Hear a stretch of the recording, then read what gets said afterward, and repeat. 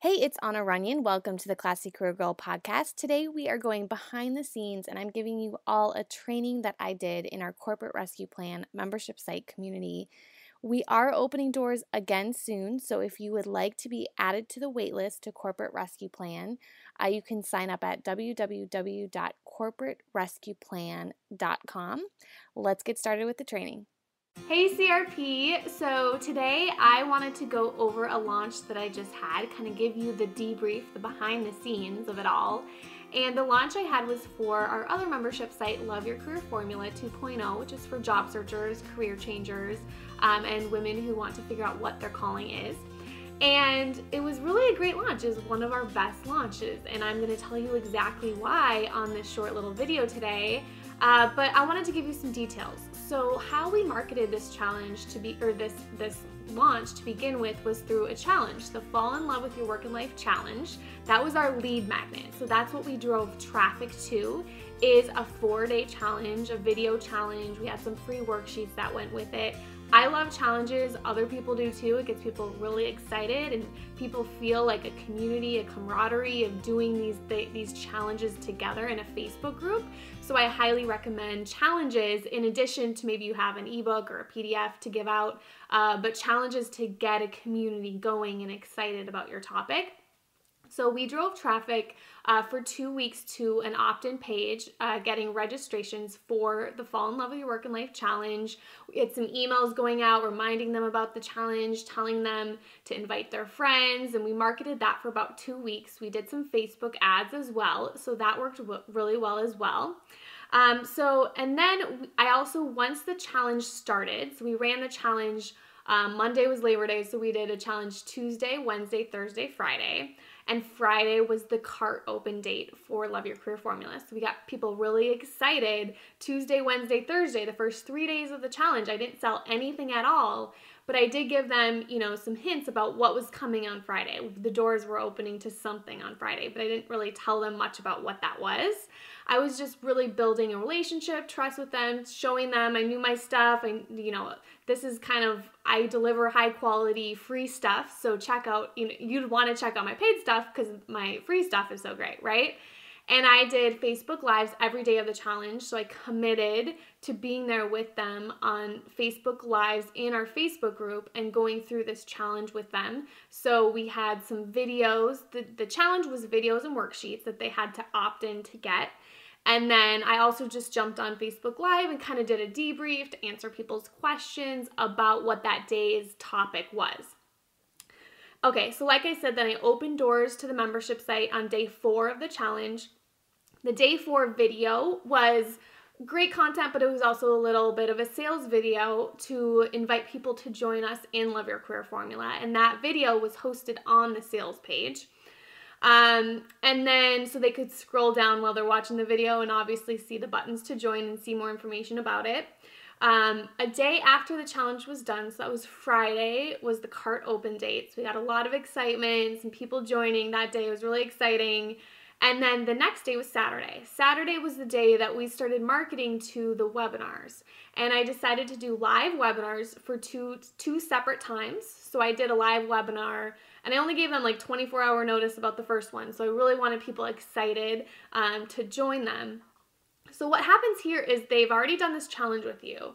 Uh, but in the past, I kind of just stopped there. But this year, I knew that a challenge plus the webinar was really the key um, because then then you have them live on a webinar. They might not just buy after a challenge, but then you're doing even more content on free great content on a webinar, and they're doing it with you live.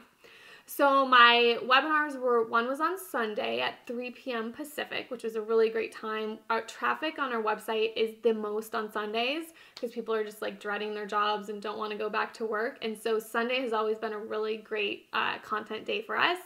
So I did one webinar on Sunday and I used Leadpages for my opt-in page and it gives you the option to have two different opt-in boxes.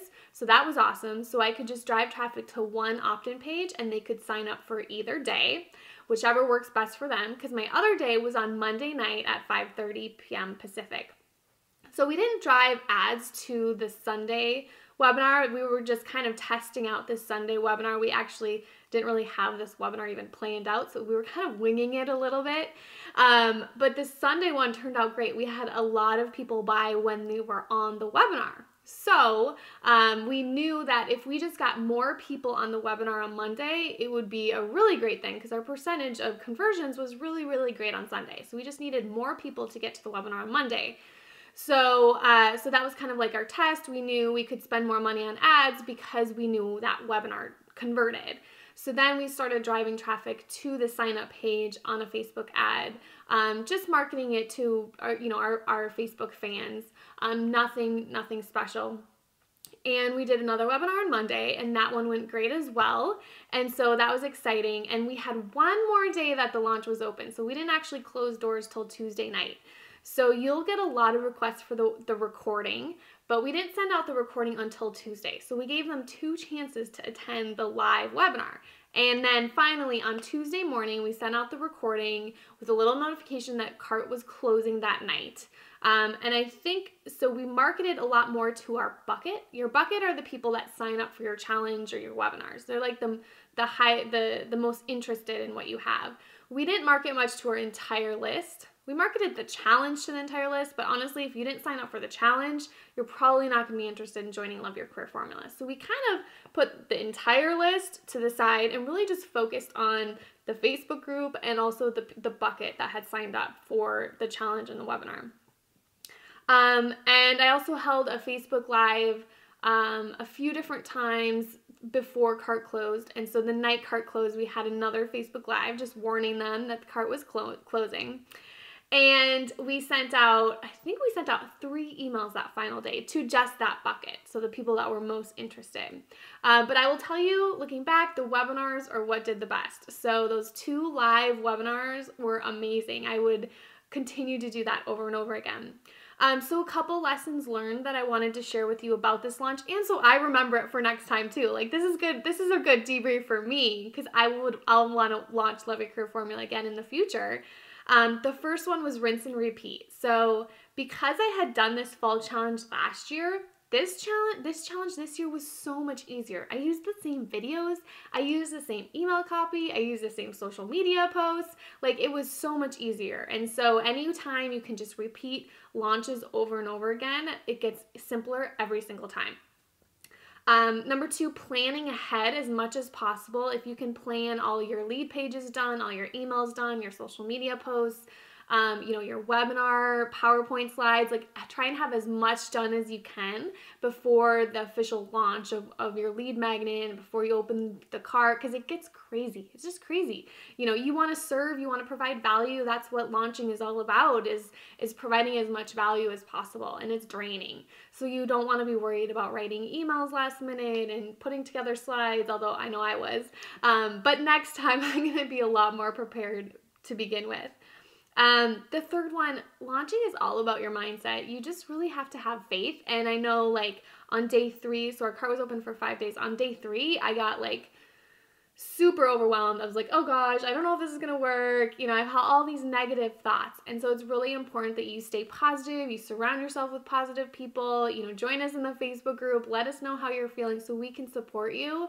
Uh, because that's that's the moment like midway through the launch, you just have these like negative, oh my gosh, I don't know if I can do it thoughts. And so totally normal. I get them, everyone gets them. Um, you just have to make sure you're surrounding yourself with positive influences. I was listening to podcasts. I had a mentor. I've just like kept listening to those podcasts over and over again. So do what you need to do to really fill your mind with that inspiration. Um, okay, so here's a big thing that we did this time that was amazing. Two days after we closed the cart, it's not over yet. So shh, this is my secret.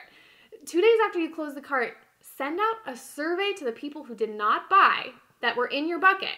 So the people who signed up for your challenge and your webinars but did not buy. I want you to send them a quick survey, Survey Monkey, and you're basically just going to ask them, you know, is there anything I could have done differently? You know, were you interested? Why didn't you purchase?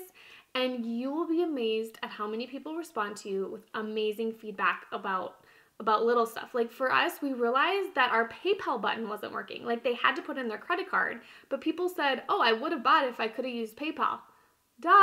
Like just little stuff that you know that you may have missed or maybe some wording.